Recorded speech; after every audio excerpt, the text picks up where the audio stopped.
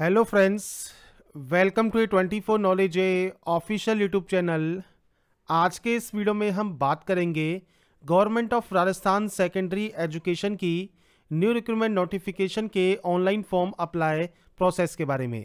तो फ्रेंड्स यहाँ पर जो कि नोटिफिकेशन है, ये आपके राजस्थान में संविदा टीचर पोस्ट के लिए जारी की गई है, जो कि फ्रेंड्स असिस्टेंट टीचर पोस्ट के लिए है और आप इसके लिए ऑनलाइन आवेदन कर सकते हैं और इससे रिलेटेड जानकारी आपको जॉब रास्ता डॉट कॉम पर देखने को मिल जाएगी। बात करते हैं इसके फॉर्म अप्लाई प्रोसेस के लिए और इस वीडियो को स्टार्ट करने से पहले, अगर अभी तक आपने हमारे चैनल को सब्सक्राइब नहीं किया है सब्सक्राइब करें शेयर करें लाइक करें, जिससे आपको आने वाली सारी अपडेट्स मिल सके। तो यहाँ पर देखिए फ्रेंड्स ये राजस्थान सिंगल साइन ऑन का पोर्टल है, जहाँ से आप इसमें ऑनलाइन आवेदन करते हैं। आवेदन करने के लिए सबसे पहले रजिस्ट्रेशन आपको करना होगा। अगर आप पहले से रजिस्टर हैं तो आप डायरेक्टली लॉगिन कर सकते हैं। अगर आप पहले से रजिस्टर नहीं है तो आप यहाँ पर लॉगिन सेक्शन के बाद जो रजिस्ट्रेशन सेक्शन है, इसमें आप जन आधार यूज़ कर सकते हैं या फिर गूगल आप सेलेक्ट कर सकते हैं। आप इनमें से कोई भी एक ऑप्शन को सेलेक्ट करें। अगर आपके पास जन आधार नहीं है तो आप गूगल आई मतलब मेल आईडी से भी लॉग करके आप रजिस्ट्रेशन कर पाएँगे। या फ्रेंड्स आप जन आधार या एनरोलमेंट नंबर यहाँ पर डालेंगे नेक्स्ट स्टेप पर क्लिक करेंगे तो आपको आपका नाम मिल जाएगा और उस नाम को सेलेक्ट करके आप जो जो है वो एस एस बना सकते हैं। एस एस बनाने के बाद आपको लॉगिन सेक्शन पर जाना है। यहाँ पर आपने जो भी एस एस बनाई है जो पासवर्ड आपने बनाया होगा और एक कैप्चा को डालकर आप यहाँ से लॉगिन कर लेंगे। इसके बाद फ्रेंड्स लॉगिन होने के बाद आपको फ्रेंड्स यहाँ पर देखिए रिक्रूटमेंट पोर्टल नाम से एक ऑप्शन मिलेगा।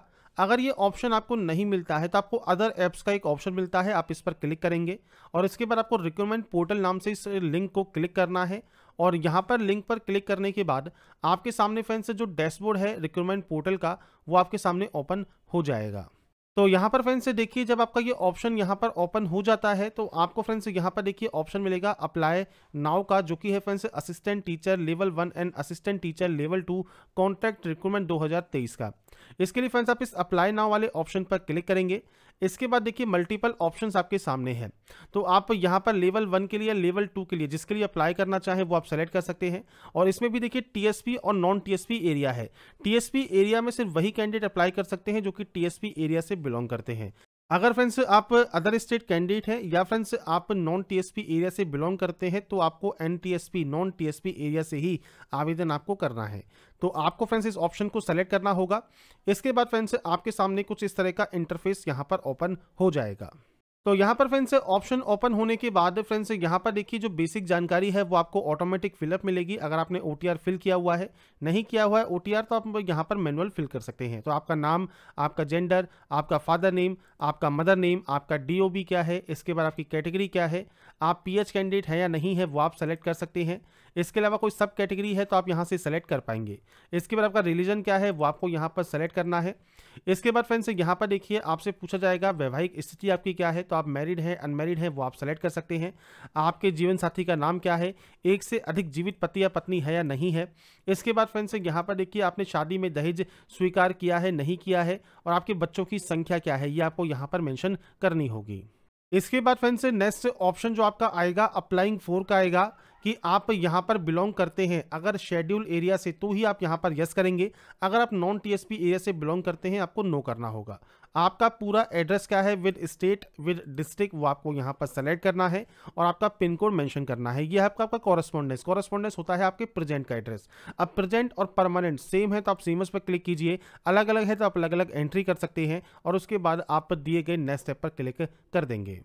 इसके बाद फ्रेंड्स सेकंड ऑप्शन है पर्सनल डिटेल्स का। तो यहाँ पर देखिए, सबसे पहले है नेशनलिटी नेशनलिटी आपको सेलेक्ट करनी है। आपका होम स्टेट और होम डिस्ट्रिक्ट आपको सेलेक्ट करना है। अगर आप शेड्यूल एरिया से आते हैं और आपने उसमें यस किया है तो आपको यहाँ पर कुछ ही डिस्ट्रिक्ट देखने को मिलेंगे राजस्थान के। आपका कोई होम ब्लॉक है, तहसील या सिटी आपकी कौन सी है, वो आपको सेलेक्ट करनी है। विलेज या गाँव कोई है तो आप वो आप सेलेक्ट कर सकते हैं। आप सेटल्ड हुए हैं इंडिया में किसी अदर कंट्री से तो आप उसकी जानकारी प्रोवाइड कर सकते हैं। नीचे फ्रेंड्स अगर आप एक्स सर्विसमैन है तो यस कर सकते हैं। सर्विस टाइप आपका क्या है, वो आपको सेलेक्ट करना होगा और आपकी जानकारी आप प्रोवाइड करेंगे, नहीं तो आप नो कर सकते हैं। स्पोर्ट्स पर्सन है तो यस या नो कर सकते हैं। एक्स प्रिजनर है तो यस या नो कर सकते हैं। एग्जिटिंग स्टेट गवर्नमेंट एम्प्लॉय है तो यस या नो कर सकते हैं। Family annual income less than ढाई लाख अगर आपकी यहाँ पर है तो आप यस कर सकते हैं, पर उस कंडीशन में आपको आय प्रमाण पत्र भी बाद में शो करना होगा डीवी में। इसके बाद कोई क्रिमिनल रिकॉर्ड आपके खिलाफ है या नहीं है, आप उसकी जानकारी देंगे और उसके बाद नेक्स्ट स्टेप पर क्लिक कर देंगे। यहाँ पर आने के बाद फ्रेंड्स अब आपको देखिए जो क्वालिफिकेशन सेक्शन है, यहाँ पर इन केस पर आपको क्लिक करना है। अब यहाँ पर देखिए, सबसे पहले है टेंथ टेंथ पे आपका नॉट एप्लीकेबल यहाँ पर रहेगा। इसके बाद बोर्ड का नाम, आपका रोल नंबर आपका परसेंटेज आपका ईयर ऑफ़ पासिंग देना है। ड्यूरेशन देनी है आपके यहाँ पर इस कोर्स की, जो कि मंथ में आप देंगे और कितने में से कितने नंबर्स आपके आए हैं। और यहाँ पर आपको देनी है आपकी पासिंग जो आपकी डेट है, वो आप यहाँ पर मैंशन करेंगे। तो आपको फ्रेंड्स यहाँ पर सिंपली जो आपका डेट ऑफ़ पासिंग है, जो कि आपकी मार्कशीट पर अवेलेबल है, वो आपको सेलेक्ट करना है। इसके बाद सीनियर सेकेंडरी में फ्रेंड्स आपके पास किस सब्जेक्ट ग्रुप आपके पास रही है? आपके यूनिवर्सिटी या बोर्ड का नाम, सेम आपका roll number percentage passing year duration year इसके अलावा नंबर्स कितने हैं और पासिंग ईयर क्या है, वो आपको देना है। डिग्री आपके पास फ्रेंड्स यहाँ पर जो भी है, आप उसकी जानकारी यहाँ पर प्रोवाइड कर सकते हैं। एडिशनल कोई इन्फॉर्मेशन है तो आप उसकी जानकारी दे सकते हैं। पीजी डिग्री आपके पास है तो सेम आप यहाँ पर पीजी डिग्री की जानकारी भी दे सकते हैं। इसके बाद है डिप्लोमा इन एलिमेंट्री एजुकेशन तो फ्रेंड्स यहाँ पर देखिए, अगर आपके पास डिप्लोमा इन एलिमेंट्री एजुकेशन है तो आपको सब्जेक्ट ग्रुप आपको देना है टीचिंग के अकॉर्डिंग जो भी आपकी सब्जेक्ट रही है। इसके बाद फ्रेंड्स आपकी यूनिवर्सिटी का नाम रोल नंबर, आपका रिज़ल्ट क्या है, आपका फ्रेंड्स ईयर ऑफ़ पासिंग क्या है, बाकी जानकारी आप यहाँ फिल कर देंगे। सातवें ऑप्शन में फ्रेंड्स रीड 2021 या 22 इनमें से कौन सा आपका एप्लीकेबल है? अगर रीड 2021 है तो 21 सेलेक्ट कीजिए 22 है तो आप 22 सेलेक्ट करेंगे। सब्जेक्ट ग्रुप आपको देना है, आपके बोर्ड या यूनिवर्सिटी का नाम देना है, जो कि रीड कंडक्ट कराती है, इसके बाद रोल नंबर देना है। सेम आपका फ्रेंड्स यहाँ पर जो ईयर ऑफ़ पासिंग वगैरह है, वो आप यहाँ जानकारी प्रोवाइड करेंगे परसेंटेज ऑफ़ मार्क्स आपको यहाँ पर देना होगा। तो ये बेसिक जानकारी है, जो कि आपके क्वालिफिकेशन से रिलेटेड है, आपके पास जो मार्कशीट और सर्टिफिकेट्स अवेलेबल हैं, आप उसके अकॉर्डिंग जानकारी यहाँ फिल करेंगे। इसके बाद फ्रेंड्स, आप नीचे आएँगे। नीचे आने पर फ्रेंड्स, यहाँ पर देखिए, आवेदक ने उच्च माध्यमिक की पढ़ाई किस माध्यम से की है, वो आपको यहाँ सेलेक्ट करना है। इसके बाद फ्रेंड्स, यहाँ पर परसेंटेज कैलकुलेशन आपकी आ जाएगी और उसके बाद आप नेक्स्ट स्टेप पर क्लिक कर सकते हैं।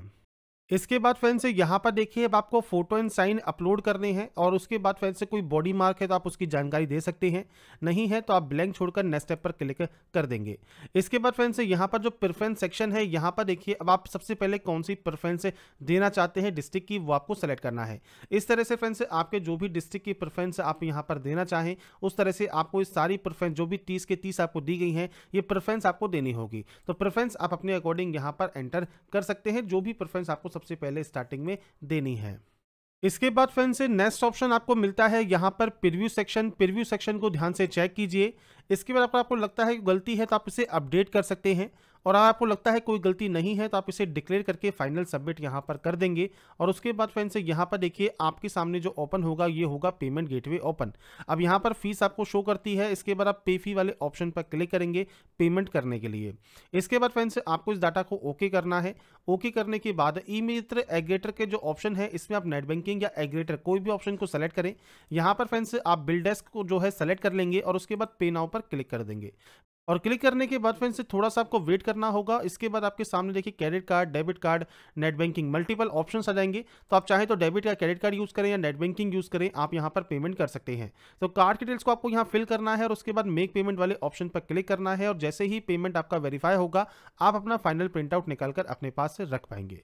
तो यहाँ पर फ्रेंड्स इस वीडियो हमने बात की कैसे आप राजस्थान संविदा टीचर का ऑनलाइन फॉर्म अप्लाई कर सकते हैं। अगर आपको हमारा ये अपडेट पसंद आया है तो लाइक सब्सक्राइब इनसे ज़रूर कीजिए और बाकी की जानकारी के लिए ऐसे ही बने रहिए हमारे साथ। देखते रहिए हमारा YouTube channel thanks for watching